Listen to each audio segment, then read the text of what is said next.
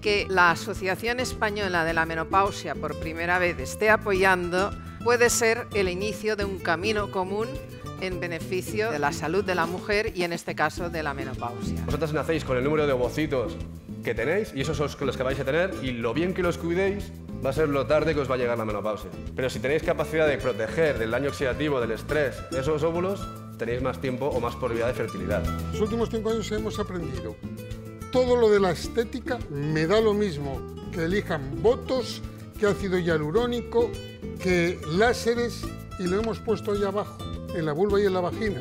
Los expertos ya han creado patrones de alimentación para diferentes mujeres en diferentes etapas de la vida. Y la menopausia no es uno menos, es más. Es uno bastante más sencillo que la adolescencia y el embarazo. ¿Cuál es la diferencia? ¿Por qué nos parece más complejo? Porque la menopausia nos responsabilizamos nosotras.